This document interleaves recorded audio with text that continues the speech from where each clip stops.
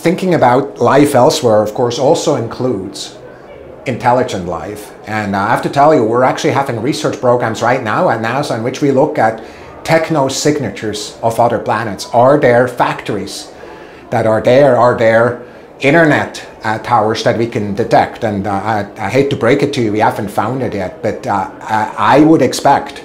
Uh, considering how big the universe is, that there is life elsewhere, and uh, it's a matter of time that we find it.